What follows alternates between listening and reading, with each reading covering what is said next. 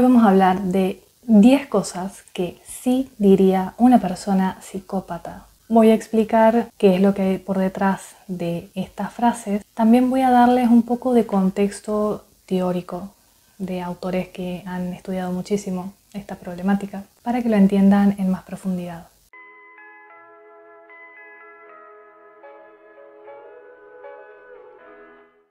Primero que nada hay que entender que una persona psicópata va a decir cualquier cosa para conseguir lo que quiere. No importa si eso implica meterse con los valores de los demás, si es, tu pareja, si es un amigo, si es alguien de tu familia, por ejemplo.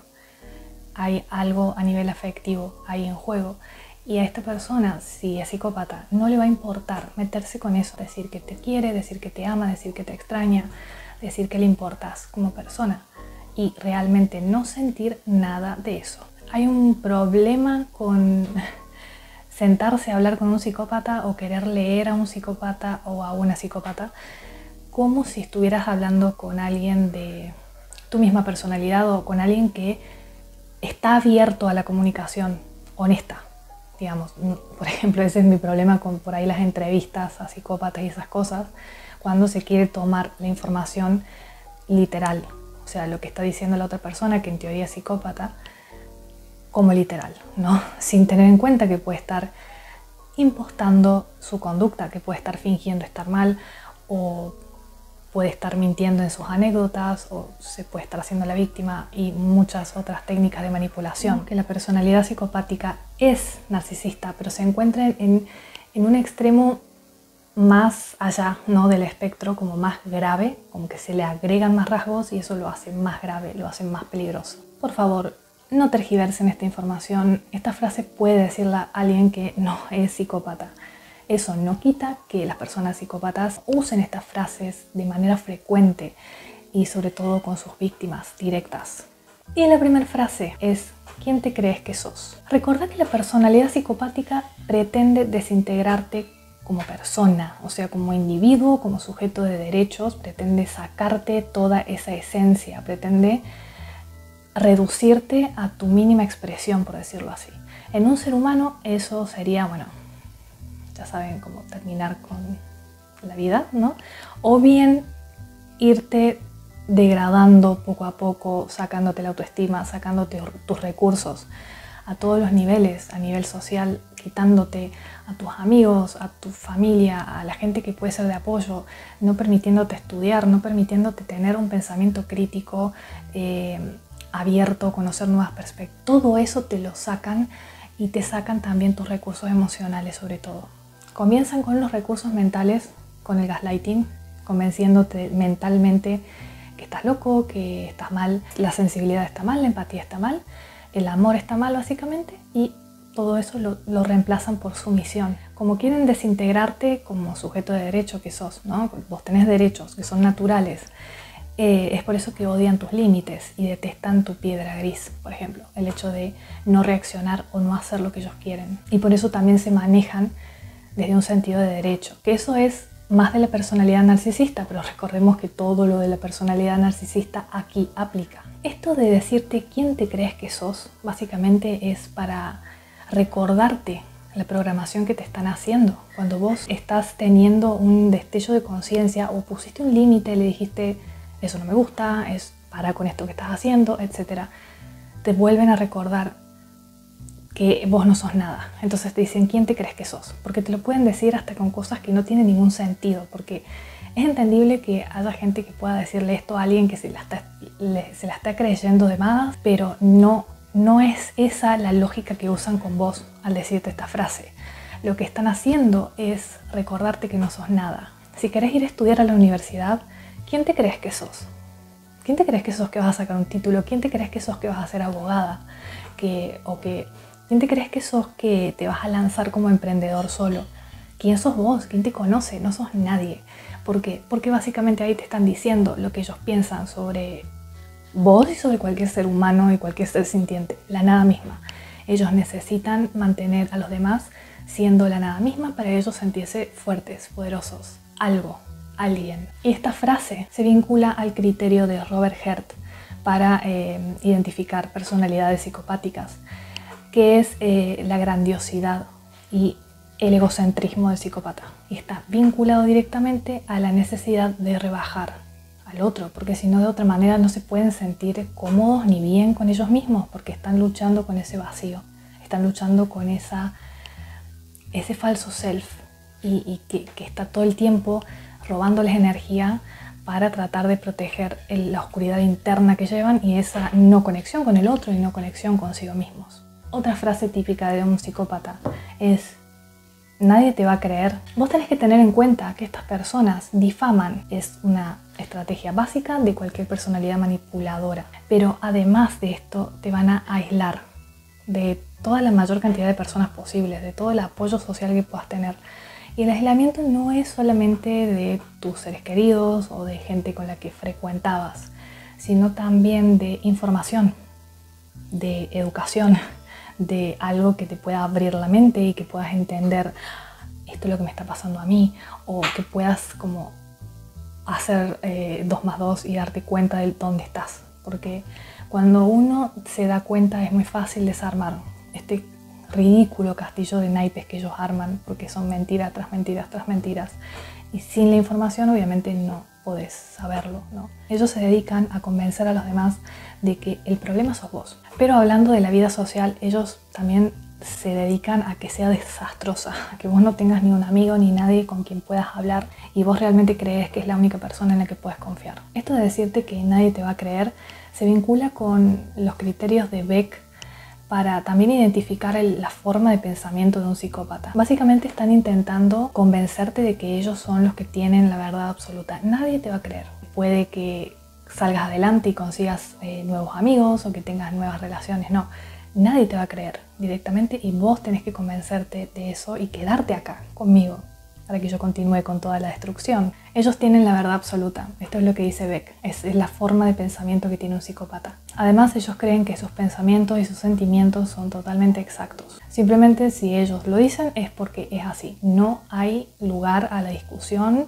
ni a la argumentación ni nada por el estilo. Cuando ellos te expresan que nadie te va a creer, te están diciendo básicamente que ya han limpiado todo el terreno para que si vos vas a argumentar y a decir la verdad, realmente eso no va a funcionar, porque ellos ya se encargaron de crear su verdad absoluta. Otra de las frases que suelen decir estas personas es, ¿para qué lo haces si sabes cómo me pongo? Beck también habló de la justificación que siempre están usando estas personalidades en su, en su modo de pensar y de interactuar con los demás. Las acciones de un psicópata se justifican porque ellos quieren impedir algo o quieren que pase algo.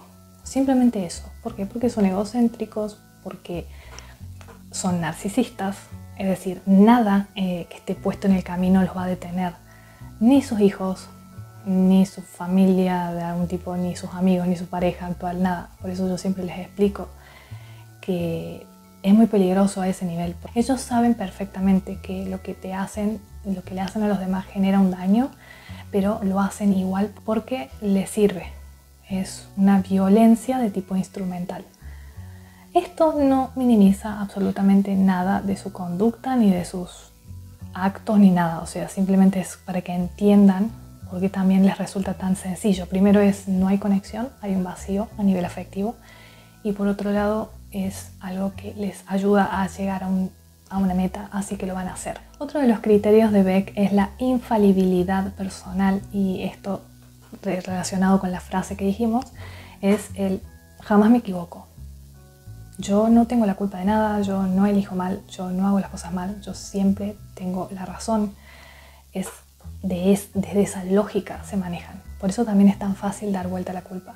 Y por eso también es tan complicado creer que una de estas personalidades puede llegar a sentir arrepentimiento por lo que hace, porque justamente si vos ni siquiera tenés el registro de que hiciste eso mal, o sea, para vos nunca jamás hago nada mal, ahí puedes fácilmente darte cuenta que es muy difícil creerle a un psicópata que te diga, yo soy psicópata y yo me arrepiento y yo no soy tan malo. O no lo sos o me estás engañando, o me estás queriendo engañar, digamos. Otro de los criterios de Beck que quedan a la vista en esta frase de porque lo haces si sabes cómo me pongo, es el hecho de que todas las consecuencias de sus actos nunca van a tener un impacto negativo en ellos mismos. El daño que le hizo a su víctima es a causa de su víctima y no a causa de su comportamiento. Y respecto a los criterios de Robert Herd, sí podemos ver la mentira patológica en este tipo de frases, porque obviamente no lo están diciendo porque ellos se crean realmente eso. Ellos saben perfectamente que lo que hicieron estuvo mal y el daño que hacen, como dije antes. Pero le mienten directamente a la víctima, le mienten a los demás sobre eso para quedar ellos como que no, no, tienen nada que ver con lo que pasó, que no son responsables de nada y que siempre la culpa es del otro. También la manipulación, otro criterio de Robert Herd, porque está haciendo el cambio de culpa, está haciendo el gaslighting, está tratando de alienarte de la realidad, o sea, encima de lo que te hizo, te está haciendo creer que vos provocaste eso, ¿sí? Eh, de ahí viene el término darvo, que se ha usado sobre todo en ámbitos judiciales, en, cuando se está luchando contra un perpetrador ese, no puedo decir la palabra, pero bueno, entienden, que siempre echan la culpa a la víctima. Si hice eso fue porque vos me provocaste, porque vos hiciste algo para que eso pasara. Es de ahí que proviene el término darvo, que significa negar lo que hiciste, dar vuelta a los roles de víctima y victimario, agredir a la víctima diciendo que es la culpable y por ende es el problema de todo esto. Luego también otro criterio de Herr que se vincula es la ausencia de sentimiento de culpa. Otra de las frases que va a usar una persona psicópata, que está vinculada también a la anterior, es vos me obligaste a hacerlo. Puede decirlo un padre, una madre, genitor, mejor dicho, a sus propios hijos cuando les está maltratando, cuando les está haciendo algo, cuando están aplicando algún tipo de castigo ¿no? De, reprender o de querer educar, ¿no? Que está tan normalizado educar con violencia y esas cosas.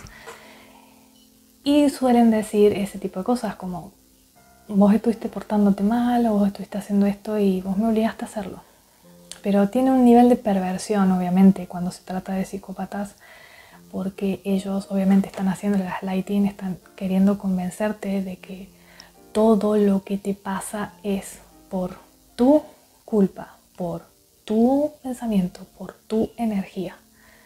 Tal cual como estas ideas espantosas que andan dando vuelta, que incluso hay psicólogos hablando de esto, de ley del espejo, de ley de atracción, que bueno, por ahí la ley de la atracción puede tener alguna que otra cosa rescatable, pero que se la está dando vuelta para justamente mantener a la víctima en ese lugar de te pasan cosas malas porque vos tenés algo, vos estás haciendo algo malo. Tengo videos hablando sobre la ley del espejo si quieren ir a buscarlo, para que, y de otros pensamientos que vienen de la New Age y también de la psicología, para que vean mis argumentos y saquen ustedes sus propias conclusiones, pero tengan mucho cuidado con esto. Si vos pensás que todo lo que te pasa tiene que ver solamente con vos, con lo que vos pensás, con lo que vos atraes, con lo que vos haces.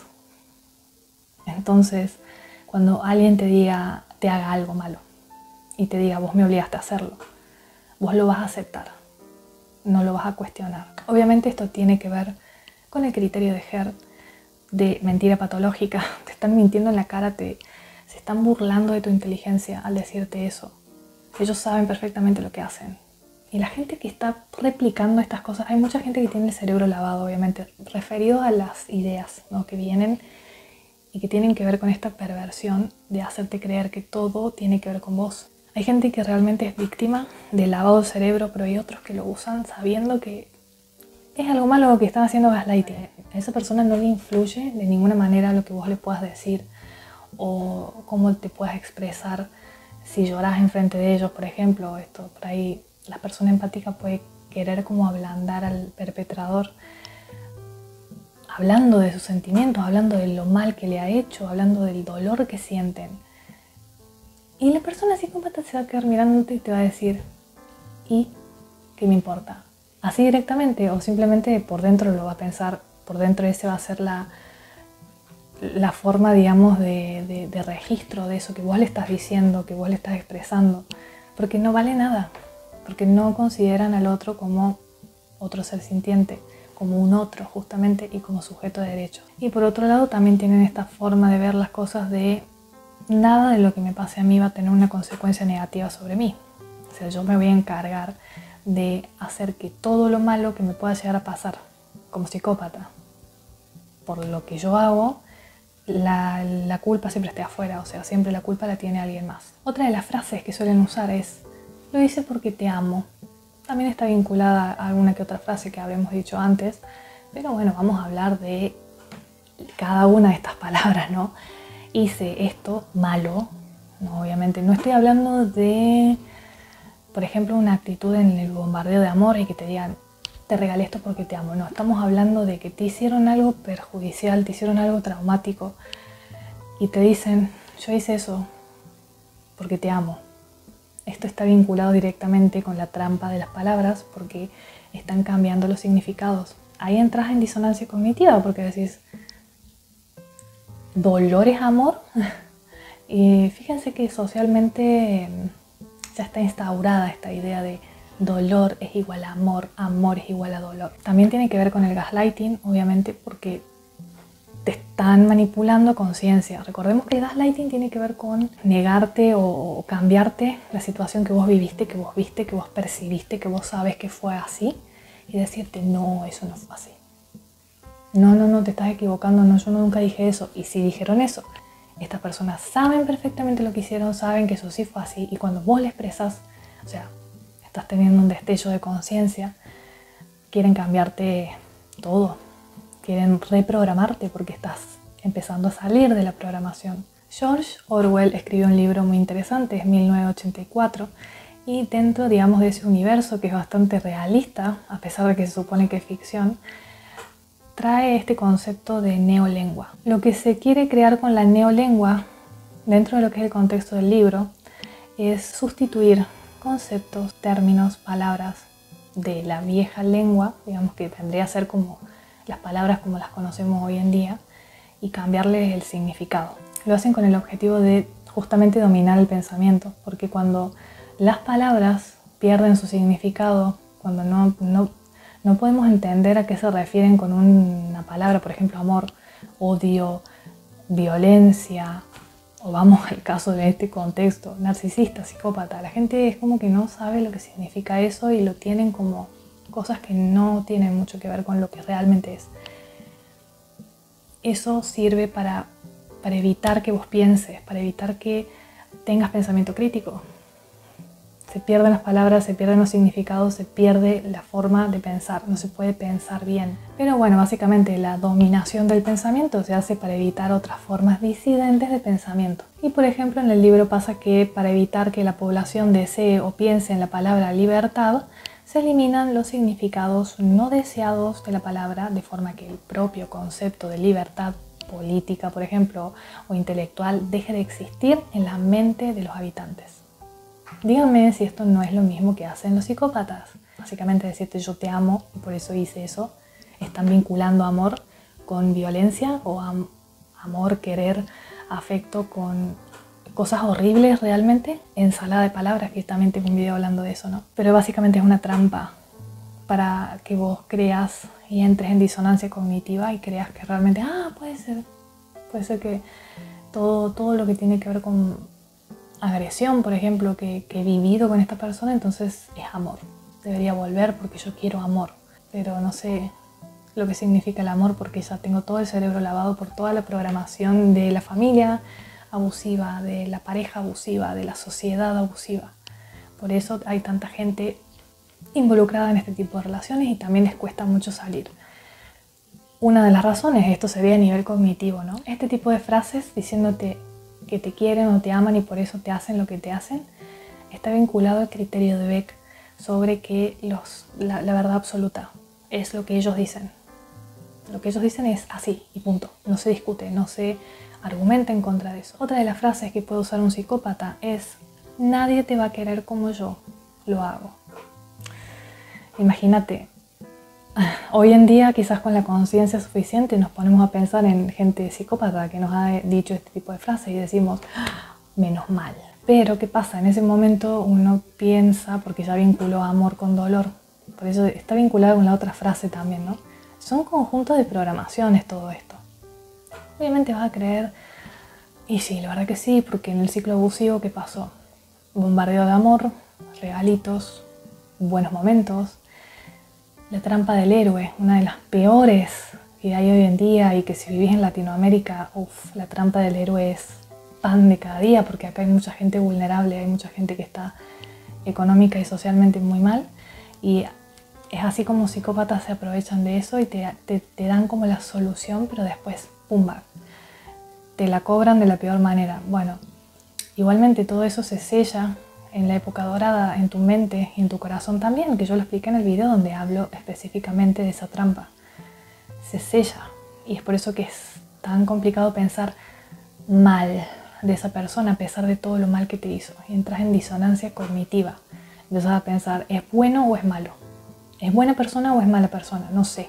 Estoy confundido, no sé qué hacer. Eso te limita, no puedes tomar decisiones, te, te paraliza, te congela. Algunas personas realmente creen que, que no han vivido relaciones tan intensas como con esa persona psicópata.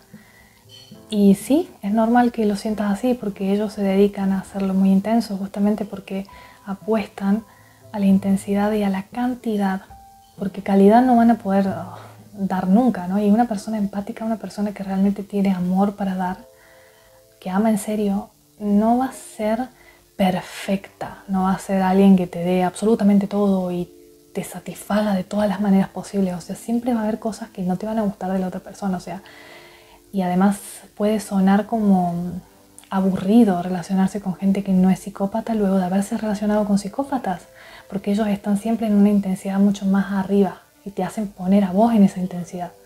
Idas y vueltas, peleas, todo eso. Te pone en ese estado y por eso después sentís que nadie te va a querer como esa persona. Nunca nadie va a ser como esa persona. Y bueno, digo, con la conciencia suficiente uno dice, ojalá, Ojalá que así sea. Esto también tiene que ver con el hecho de que ellos te aíslan y difaman tu persona para que nadie se acerque a vos. Básicamente se están haciendo referencia a, a eso, ¿no? Al hecho de que estás solo o sola en el mundo. Y, digamos, eso confirma el hecho de que nadie te va a querer como ellos. Porque ellos te muestran tu realidad destruida, que ellos mismos se dedicaron a destruir y te dicen, ¿no ves que nadie te quiere? sea, nadie te quiere, tu familia no te quiere, tus amigos, nada, no tenés a nadie. Y la única persona que está acá soy yo. ¿Ves que tiene toda la lógica? Y respecto a la difamación, obviamente ellos sacan lo peor de vos. Te hacen quedar mal con otra gente, esa gente te dice, estás cambiada o cambiado o estás raro, estás muy violento, agresivo, lo que sea. No me gusta mucho, o sea, me voy a alejar de vos. Seguramente lo has vivido de esa forma, ¿no? Como que gente como que se empieza a alejar. Incluso no sabes por qué, pero se empiezan a alejar. Te quedas solo. Entonces esta persona te dice, estás solo, nadie te va a querer como yo te quiero. Y acá está la prueba, toda tu vida social destruida. Esto está vinculado, por supuesto, a los criterios de Robert Hertz sobre el egocentrismo y el sentimiento de grandiosidad que tienen estas personas. Ellos se creen el centro del mundo, pero no te olvides que también necesitan destruir para poder sentirse grandes. La grandiosidad es un mecanismo de defensa que usan para tapar toda la oscuridad que hay por detrás y la inferioridad en realidad que sienten. Esto también se vincula con el criterio de Robert Hert de la mentira patológica, porque te están mintiendo descaradamente. No es que ellos creen realmente que es así. Ellos saben muy bien cuál es la verdad. Saben que vos tenías amigos, que capaz tenías algún familiar que te quería. Saben que tenías la capacidad de conocer gente nueva, de de hacer nuevas relaciones, de vivir tu vida. Lo saben perfectamente. Te están mintiendo en la cara. Y por supuesto está vinculado al criterio de Robert Herr de manipulación, porque todo esto es una técnica de manipulación emocional a través del aislamiento eh, emocional y social, porque es un golpe a la vida social también de la persona, el hecho de que te difamen, que te aíslen de los demás. Otra de las frases que te puede llegar a decir un psicópata o una psicópata es, somos almas gemelas y estamos destinados a estar juntos, estábamos destinados o el día de mañana, si nos separamos, nos vamos a volver a juntar porque estamos destinados, porque hay algo que es más fuerte. Están usando el pensamiento mágico de las personas. Ya expliqué, creo, en otro video que el pensamiento mágico no es malo de por sí. Es malo cuando alguien te está manipulando por ese lado, obviamente, y vos no puedes discernir, ¿no? Muy bien. Por ejemplo, organizaciones coercitivas que están vinculadas a la religión o a la New Age, incluso la terapia. Lamentablemente incluso ahí hay gente que está buscando manipular y someter a las personas, ¿no? Entonces eh, se usa mucho esto, usar el pensamiento mágico, usar las creencias de la gente y distorsionarlas para hacer que hagas cosas o hacer que dejes de hacer cosas. En este caso lo que te están diciendo es, ¿con quién te vas a relacionar? No te vas a relacionar con nadie que no sea yo. No te vas a encontrar con nadie que no sea yo.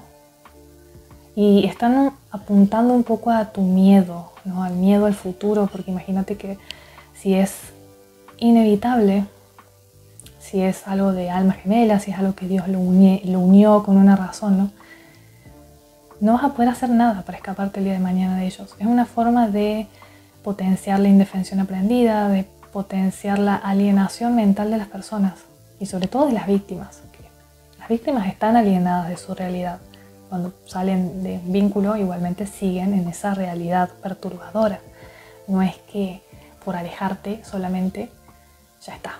Obviamente como es una adicción, porque digo, el contacto cero tiene una razón de ser, es para aliviar la adicción, para, tratar de sacarte de ese lugar de dependencia, porque si estás ahí en contacto va a ser mucho más difícil. Pero no es, no es la única estrategia de afrontamiento. Pero he sabido ya que igualmente si lo haces vas a probablemente seguir pensando o vas a tener problemas, síntomas. Igualmente. Al decirte que las almas gemelas existen, que el karma de o sea, que esta persona es un karma tuyo, que lo tenés que vivir. Hay muchos perversos, porque la verdad que no sé cómo, cómo clasificar a estas personas, que le dicen y quieren hacer convencer a los demás que si te cruzaste con un psicópata o un narcisista es un karma que tenés que vivir y porque ahí tenés que aprender algo. Es falso eso. No hace falta violencia ni para educar a la gente. Es mentira. No necesitas sufrir en la vida para aprender cosas. Las personas más buenas, empáticas, dulces, sensibles me han enseñado lo mejor que yo sé de mi vida. Luego obviamente yo puedo aprender de mis experiencias, pero es por mí, no es por esa persona. No es gracias a esa persona, no es gracias a todo lo que me hicieron, no. Eso también es una forma de autoconvencerse de tener el control sobre algo que no tenés el control. Porque si seguís con síntomas y seguís sufriendo las consecuencias es porque no estás en control todavía. Y está bien no estar en control cuando te ha pasado semejante cosa. No hay que em, desesperarse, porque uno ya está en hipervigilancia, pero no puedes desesperarte más y entonces empezar a buscar pensamientos que son falsos para convencerte de que tenés control cuando no tenés control. Es como quien se repite que, que está bien, que está bien, que está bien, que todo está bien cuando todo está mal. Está todo mal, está todo mal, punto hagamos algo para que cambie, pero no te autoconvenzas de algo que no es así.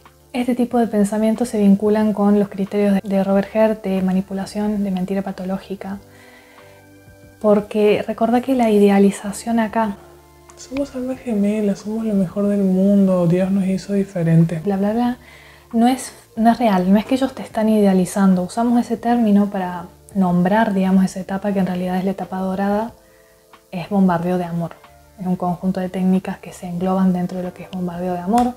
Ahí realmente se explica lo que pasa en esta etapa, pero no es idealización, se ha confundido mucho eso. Idealizan otro tipo de personalidades, pero no estas. Estas saben que envidian tus cualidades, que no te quieren ver, básicamente te quieren destruir, pero realzan eso porque saben que de esa manera te ablandan. Obviamente alguien te puede estar halagando, no, no son malos los, halagos ni las cosas lindas, ni las frases, ni los regalitos, ni nada de eso, pero la intención que hay por detrás sí es lo que importa. Un psicópata no lo hace porque realmente crea eso.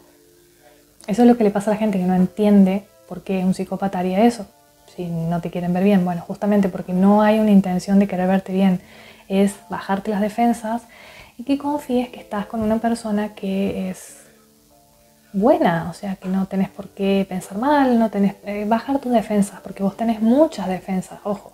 Entonces, tenés mucho cuidado con esos discursos que te dicen que las almas gemelas existen, que que escribiste un contrato con alguien antes de nacer para vivir toda la mierda que viviste, solamente porque de esa manera ibas a aprender y no sé qué. Primero que eso no se puede comprobar, o sea que es como, no me meto con las creencias, pero digo, si están usando eso como, como una excusa para darte vuelta a los roles y que vos seas el culpable y que vos seas el generador de esa realidad horrible en la que estás, ese es el problema. Decirte que si vos viviste esto con esta persona que es un psicópata, es porque vos que escribiste un contrato con el psicópata. Es muy difícil hablar de estos temas y no sacarse de quicio porque realmente están insultando tu inteligencia al decirte algo así. Por lo menos en ámbitos de abuso, en ámbitos de psicópatas y narcisistas. No sé si quieren usar ese discurso en relaciones tóxicas, en no sé, en desarrollo personal, pero no se metan en con esas cosas acá querer confundir a la gente. Todos estos discursos de alma gemela, las vidas pasadas, eh, el karma. A mí no me vas a venir a decir que a mí me pasan cosas malas y me cruzo gente abusiva porque yo tengo un karma. O sea, no, es porque hay gente abusiva, punto. No me vengas a meter a mí, a culparme de las cosas que hacen otros. Todo esto de la elección antes de nacer, muchos eh, con ganas de creer eh, más positivamente o querer como convencerse de cosas que son menos dolorosas que el trauma, a veces adoptamos esos pensamientos. Que a veces nosotros queremos creer, todo lo puedo atraer con mi mente. Es muy lindo pensar así. O este tipo de cosas, ¿no? Como lo romantiza y lo, y lo hace todo más lindo. Pero no, no. Simplemente existe gente mala, gente dañina, gente malintencionada. Pero ahí están. Entonces cuando vos salgas a la calle te puedes cruzar con uno. Es una cuestión de números, no es una cuestión de karma, de atracción y no sé qué. Todas estas son programaciones de sumisión para que vos aprendas que no tenés que pensar mucho más. Porque fíjense qué simplista que es decir, bueno, me pasó porque yo lo, atraje. Están manipulando a la gente emocionalmente. El trauma tiene que ver con, el área emocional, obviamente con el área también cognitiva. Es un golpe emocional y por eso la manipulación va a ser emocional. Otra de las frases que pueden llegar a usar es, tú no puedes vivir sin mí. Esta frase se vincula también con las otras que hemos dicho, pero tiene un tono más de amenaza, directamente de coerción, de decirte, quédate quietito, quédate ahí, porque vos no podés sin mí. Vos realmente no no te puedes mover, no puedes trabajar, no puedes estudiar, no puedes pensar si yo no estoy cerca. Está vinculado a esta jaula mental y a veces la jaula es real, ¿no? A veces las víctimas han llegado a un punto en que la violencia escaló a tal grado que ya directamente es están encerrados en sus propias casas, no pueden salir, no pueden hacer esto, no pueden hacer lo otro. Ya sabemos todo lo que hicieron antes, difamación, aislamiento, gaslighting, te hicieron creer que amor era dolor, te programaron para, para ese estilo de vida. Vos realmente te vas a creer que no vas a poder sin ellos. Y de hecho mucha gente sale del vínculo y no sabe qué hacer con su vida. No saben con, qué empezar porque toda la vida han estado controlados y comandados por estas personas. Entonces, de repente tomar una decisión propia es todo un mundo, ¿no? Y, y, es sufrimiento, es, es realmente muy doloroso. Otra de las frases que puedes llegar a usar es vos me ayudaste a cambiar. Y esta frase, con todas sus variantes obviamente, está vinculada a la etapa del hoovering, por eso es que la víctima siente, se siente muy maravillada por un mensaje así de parte de un psicópata. Vos sentís que, que has hecho algo realmente grande, como que te anestesia y te hipnotiza también. Pero si estás en el vínculo traumático todavía, si vos empezaste a poner límites o si hubo una pelea importante y puedes llegar a escaparte, pueden usar esta frase como para reforzar ese vínculo traumático y además también vinculan esto del cambio al hecho de que antes estaban mal y eran unas pobres víctimas del Señor y vos los ayudaste. Entonces si vos sos como un pilar para esa persona, sos alguien empático, o sea, vos no querés que esa persona se derrumbe, no querés que esa persona la pase mal por tu culpa porque te, te alejas. Entonces básicamente están usando la culpa también. Recuerda que ellos crean un universo donde solamente está esa persona y estás vos.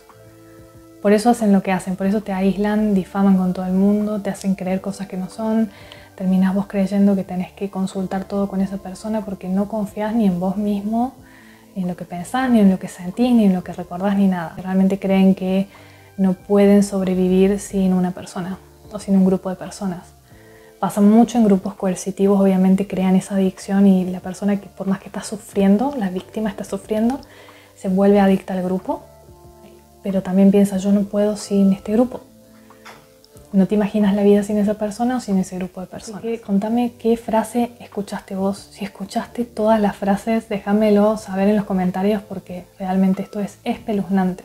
Si no te suscribiste, no te olvides de hacerlo abajo porque todas las semanas tenemos videos nuevos con mucha información. Así que te veo la próxima. Chao.